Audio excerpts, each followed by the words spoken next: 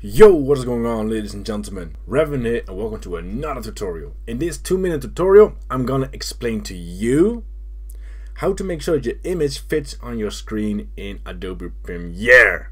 So without further ado, let's get started.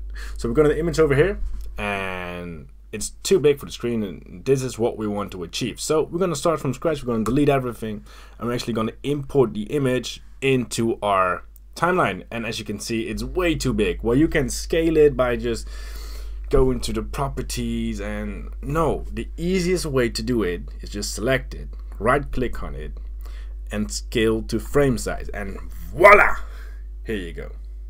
And that's it. It's actually not that difficult but it's really annoying if you don't know what to do. So we have plenty of time. So let's just tell you a fun fact.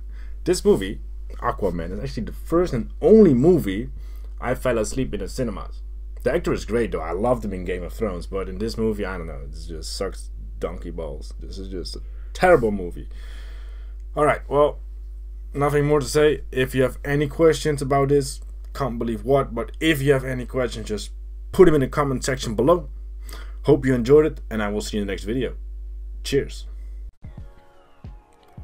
Hopefully you enjoyed the video. If you did, be sure to leave a like. If not, refresh it, give it another chance. Got questions? Just ask them in the comment section below, and I will see you in the next video.